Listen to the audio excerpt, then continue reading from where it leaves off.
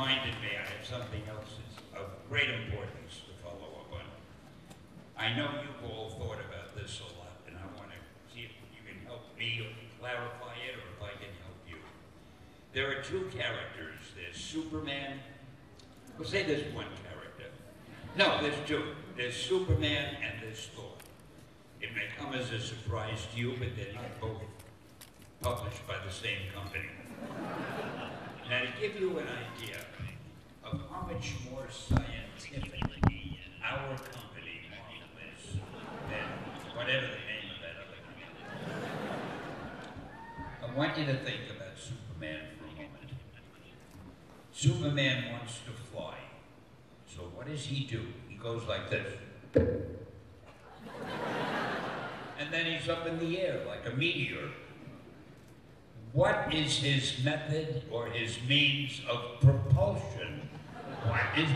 When Jerry Siegel and Joe Shuster created Superman, they said he was able to leap over tall buildings, which made sense because the gravity here was much lighter than on his home planet, so he could do that. They never said he could fly like a rocket, but I want to show you how much different Marvel is and how scientific we are. When I did Thor, I wanted him to fly, but I wasn't going to have him just do this.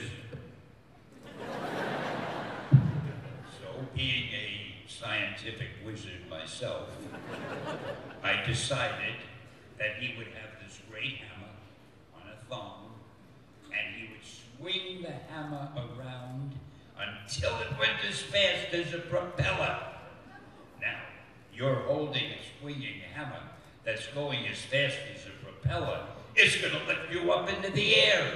So you see, we had a perfectly scientific reason for Thor.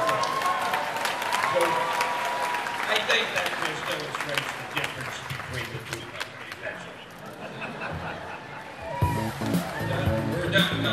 Let's have a stand for the United States.